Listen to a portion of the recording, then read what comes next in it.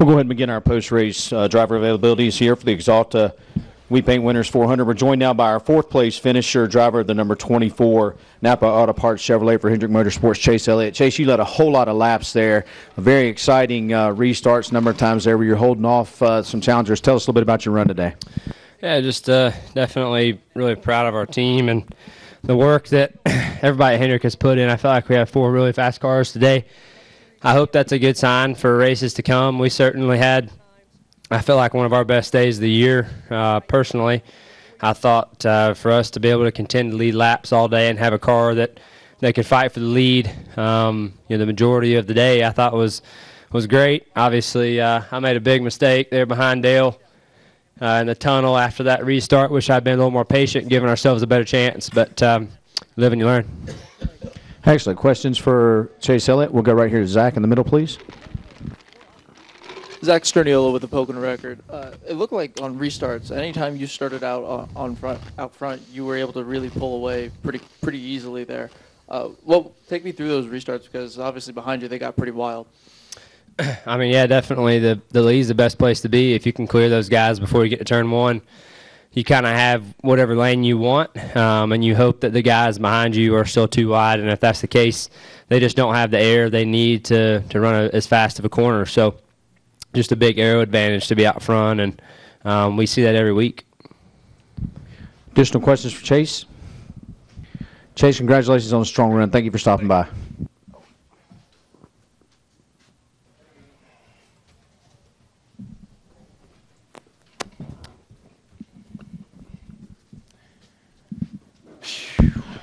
Continuing our post-race media availabilities, we're joined now by the driver of the number 88 Axalta Chevrolet for Hendrick Motorsports, Dale Earnhardt Jr. Dale, uh, an exciting finish there. Take us through those last few laps, please.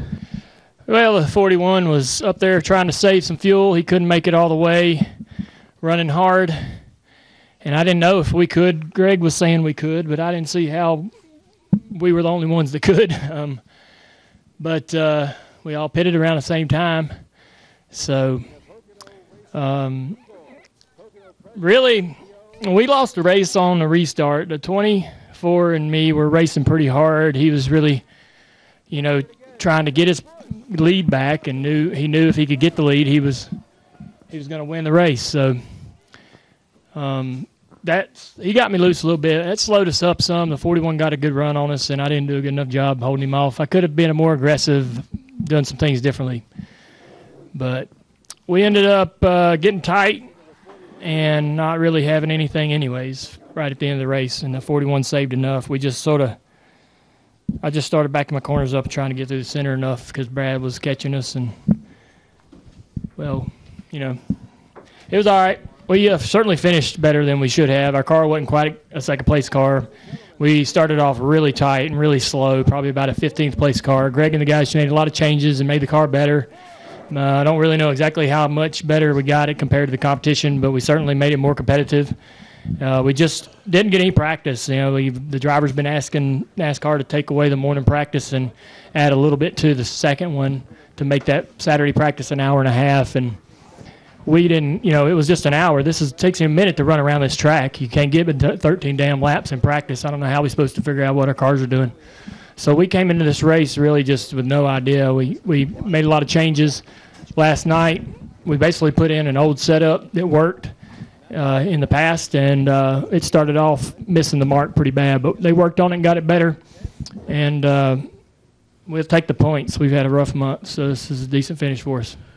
We're also joined now by the driver of the number two Miller Lite Ford, our third place finisher, Brad Keselowski. Uh, Brad, Dale just talked about some of the strategy as it was playing out there uh, towards the end of the race. Can you share a little bit uh, from your perspective? Yeah, um, I thought we were, you know, okay to start the race. My teammate Joey Logano was really good. It's pretty obvious that uh, if you could get to the lead, you had such an advantage um, that uh, someone had to be three, four tenths faster than you to pass you. Uh, so I was just trying to keep the track position all day. Unfortunately, we weren't able to do that with uh, the whatever penalty there. But um, we uh, were able to drive back up there towards the end and thought we had a lot of speed. Just every car I would pass would take, you know, 10, 15 laps just being stuck in the wake. And uh, it's just, you know, part of it, I guess. So um, all in all, a, a pretty decent weekend for us um, with the Miller Lite Ford and, and Team Penske, and proud of that effort to uh, to run up front and have another solid weekend. We've, we've had a lot of those lately, and it doesn't go uh, unnoticed by me. I'm really proud of my team for those efforts. We just want to keep it going and want to turn them into wins, but uh, all in all, a lot to be proud of, and uh, keep on going. Go to Michigan next week, and hopefully we can get those two more spots.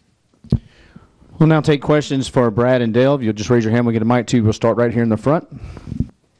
Uh, Matt Cottrell, Lebanon Daily News. Uh, this question's for Dale. I know you, you just said you know you weren't really uh, happy with your car th- throughout the day, um, but just a second place finish alone. Do you think it's still some, uh, still a positive you you and your team can build off of coming off the rough the rough month and coming into a track where you're really good at? Yeah, it certainly feels better than finishing 15th. Um, you know, and the car wasn't that bad. Uh, You know, I just we just have such high standards after the last couple of years we've had, and um, man, when you get just a little bit behind in this series, holy moly, it takes so much work to you just to just regain what you lost. Not really to even have an advantage, just to get back to where you were. Um, a tenth out on that racetrack is in, impossible to find. So it's uh it you know it it's a good step in the right direction. I felt like we could come in here and run good, and uh, you know I think we learned a lot that we can we can we can understand how to get better for the next race here. I'm looking forward to Michigan, and uh, you know obviously it's going to be a different package, but I think we'll we'll run good on that track too, and and anticipate. Uh, Anticipate having a good run at Kentucky. You know, we've always done really well on the repaves. So for whatever reason, our cars hook up pretty good, or I just like that as a driver. I don't know. We'll continue with questions. We'll go to Bob and then Zach. Uh, Bob Pockrass, ESPN uh, for Dale.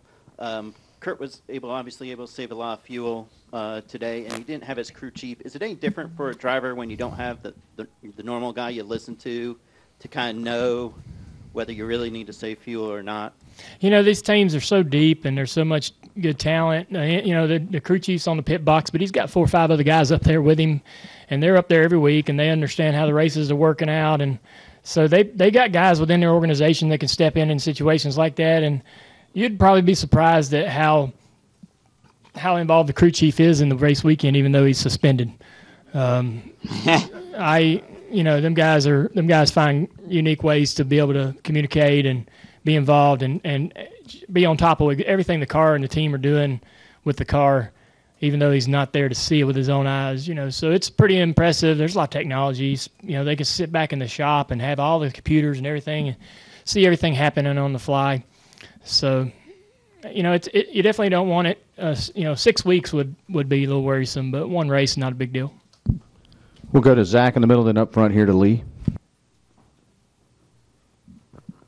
Zach Tanzoni front stretches for both you guys. Um, can you explain the, the importance of having a good spotter, especially during you know big restarts like we saw today, five and six wide? How how important is a good spotter here?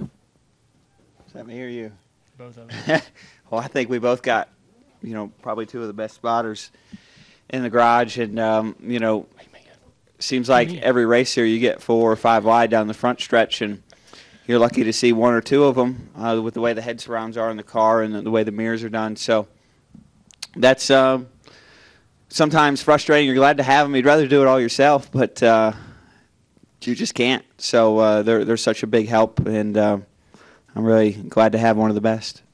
Yeah, I agree. They're they're both our spotters really good, really good guys. Really talented and understand exactly what the driver's looking for. You get to working with the same guy for a long time, and you sort of get to where you speak the same language, and he he knows what you want and don't want. So to have that, uh, and it, you get it as a driver, it just gives you confidence having somebody that you trust and believe in, and, and knows is going to give you good information. You drive the car with more confidence. You know, you got confidence to do things out there. We'll go up front to Lee. Lee Spencer, Motorsport.com. Junior, you had a battle with uh, Chase Elliott. Chase led the most laps today. Can you just talk about how he's matured in this first year? I mean, did you ever expect him out of the box? I mean, I know he's with a great team, but the, the maturation he showed is pretty incredible. Well, you know, I don't think you get hired by a team like that unless you're good. I um, I didn't, you know, I didn't expect him to struggle. I thought that um, he's got a lot of laps under his belt. A lot of high, he's been in a lot of high pressure situations, whether it's running his late model somewhere. I mean, the competition is tough in the late model series on on those small tracks and in the Xfinity series, the Truck series. I mean, he's been in so many scenarios. If you look at his career over the last four or five years, he's been through it all. Certainly learned a ton. He's got a real good attitude. He's very calm. Doesn't get excited about much, and uh, he's got a really really good crew chief. Um, a guy that I think really is wrapping his arm, you know, arms around the idea, working with Chase and grooming Chase. So they're doing, they're, you know, the team's doing an amazing job. They were always fast uh, with Jeff, and I think the transition couldn't have been better. Jeff really set that team up for the transition, and and uh, all that went so smooth. So just a great, just perfect storm situation for for Chase, and he's doing a great job. You know, he's great. He's become a great teammate. We're going to finish up right here in the middle with Zach. Zach Sterniola for the Pocono Record for you, Dale. Um, there's been a lot of talk about Toyota's domination over the last really season now, uh, and you come out today and 300 cars uh, beat all the Gibbs cars. Uh, it looked like the Chevys had a lot of speed today and had some good fuel mileage there at the end.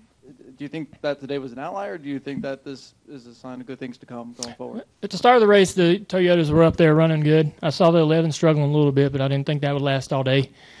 Uh, the 19 was pretty quick. The 18, 20 was good. You know, just track position late in the race. So we got we lined up in some some good lines and um, did the right things instead of the wrong things down in turn one, and and didn't lose any positions. Maybe gained a position or two here and there it's just so tough on them restarts to, to take advantage of what's going on around you, even if your car's great. You just got to have everything work out for you. But I don't think that uh, the Toyotas have lost anything. We certainly are getting a little bit better, and we're working hard. I know the whole whole series is working hard to catch the Gibbs stuff. Gentlemen, congratulations on a strong run. Just, thank you.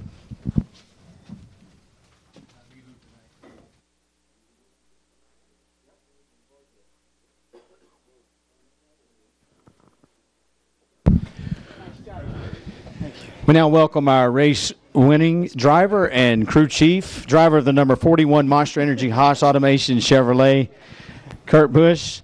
Also joined by his crew chief, Johnny Klausmeier. Gentlemen, congratulations on a, a great win today. Uh, Kurt, take us through those final few laps. Well, thank you. Um, it's um, it's an amazing feeling when you get to drive into victory lane and, and you, any track, any weekend, at any time and it's very special because it makes you think of all the hard work that everybody at uh, Stewart Haas Racing put into this car, and to be in position, you know, that's what it's all about. And Johnny Klausmeier called a perfect race to, you know, gamble on the fuel a little bit, but he also, um, you know, gave me the ball. He's like, "Hey, we're two laps shy. Um, go get it for us." And so, as a driver, you know, we were restarting. I think tenth at that point. Uh, we had to work through some of the the guys that stayed out, which you knew, uh, or I knew we we could get those guys because, you know, they were really gambling on fuel. Uh, but just overall, um, you know, a great team effort. It's uh, it's a lot of work at the shop, but each week we've been in position this year so far, um, and we haven't quite sealed the deal. And so today we did, and we're going to enjoy this win. Johnny, I believe this is your second uh, stint atop the pit box there. Uh, so you're batting 500 there. Uh, tell us a little bit about when you're making that call, kind of what's going through your mind as you're developing that strategy. Yeah, I mean it was it was nerve wracking, but uh, you know, it, and all ended up working out really good. Um, we just we knew that we were racing guys on fuel that had the same engine horsepower, Hendrick power than us, so we knew that we should be in the same uh, sequence as them. Um, Kurt did a great job of saving it. We just kind of kept him informed on everything that was going on, and he took it and ran with it, and it was great. Kurt, before we go to questions, just want to let you know this uh, win does move you into a tie for 25th on the all-time series wins list uh, with NASCAR Hall of Famer Rex White. So pretty cool thing there. And we'll open it up to questions now for our race winning uh, driver and crew chief. You'll raise your hand. We'll get a microphone to you. We'll start back there in the back and work our way forward.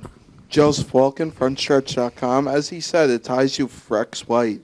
What do you think this does for your legacy? Uh, it's, it's something that you don't think about, um, but it's nice to to have the acknowledgement to be in um, an elite group.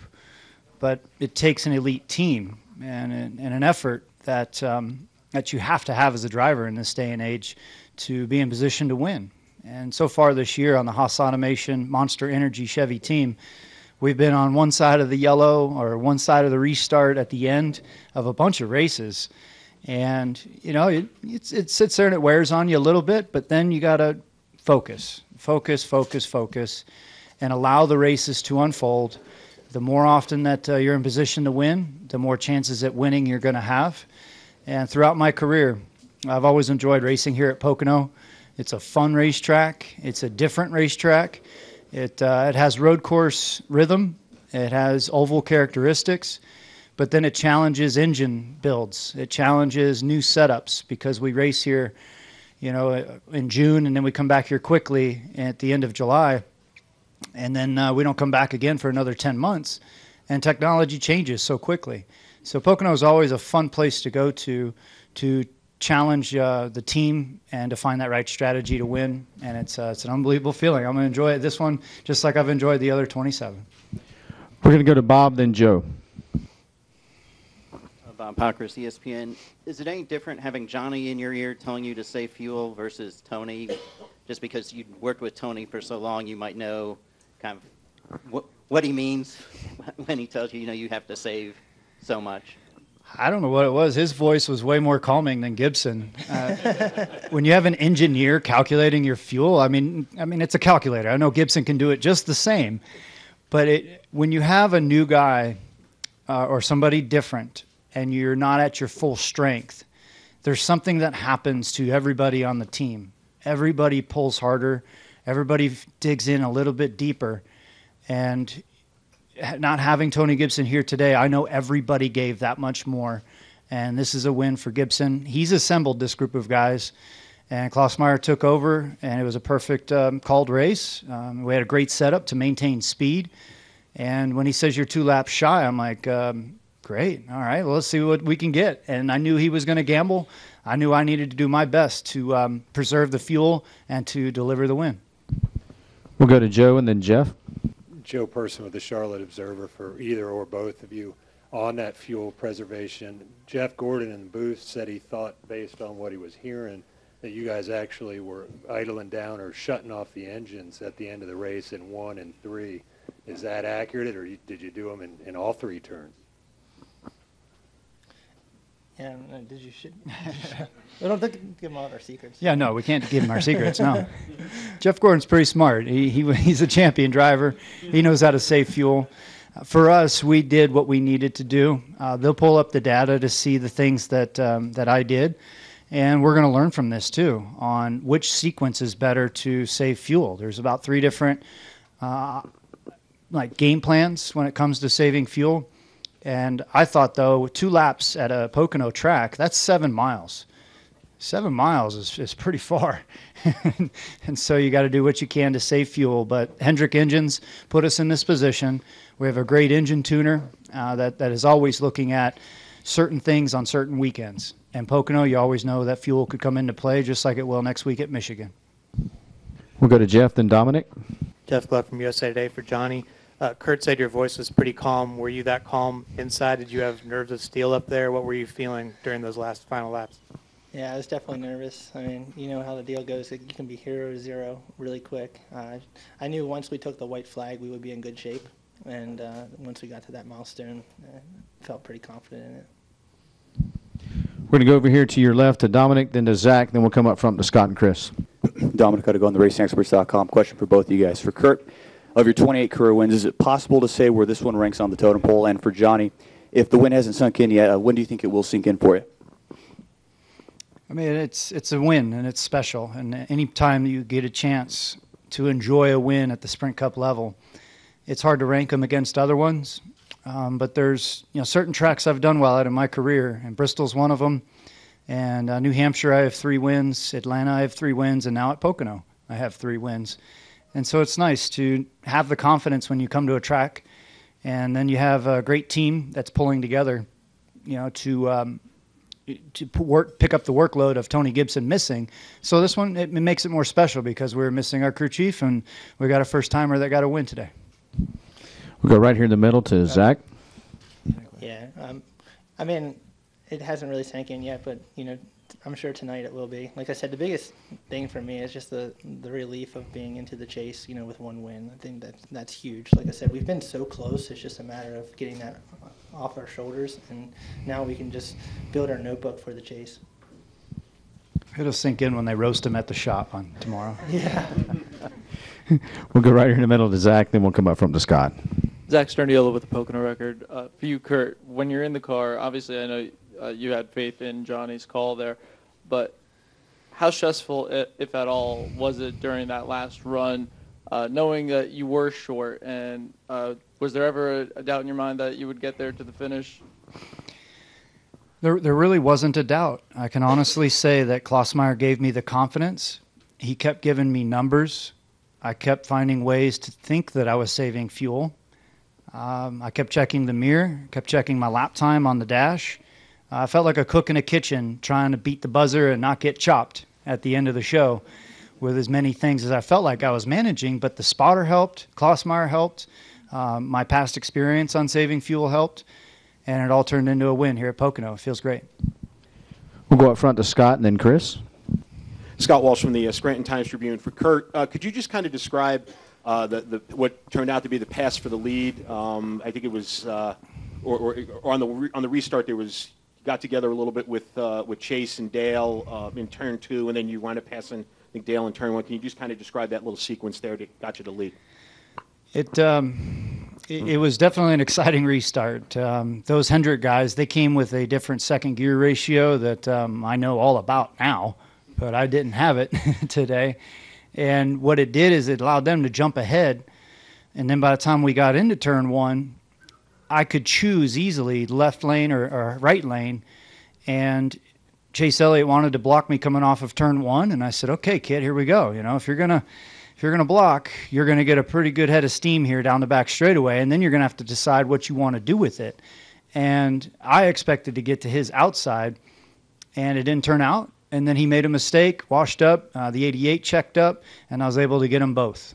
And so, again, that gets back to what I answered about earlier. We've been on one side of the restart or the other um, at a bunch of races at, at towards the end here, and I'm just glad that the restart panned out perfectly for us. But Chase Elliott did a, a phenomenal job. He's a smart kid.